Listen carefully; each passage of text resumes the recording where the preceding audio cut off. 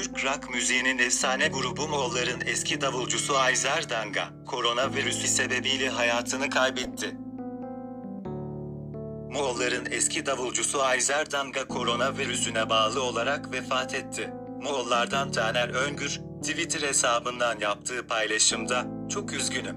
Yıllarca birlikte sahne aldığımız, çok sevdiğim arkadaşım Ayzer Danga'yı kaybettik. Sonsuz yolculuğunda yolun açık olsun kardeşim, dedi.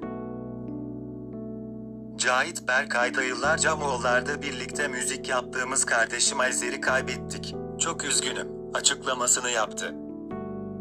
Ayzer Danga kimdir?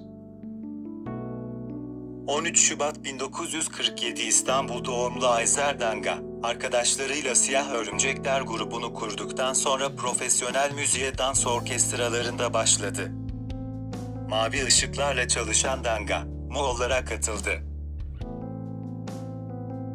Cem Karaca ile ortak müzik yapıldığı dönemde gruptan ayrılıp kardeşlere katılan Danga, Edip Akbayram Dostlar'da da çaldı. Danga ayrıca bir dönem Erkin Koray'la müzik yapmış, Kerem Güney ile çalışan Güneş'in Sofrası ile Zorbeyler gruplarında yer almıştı.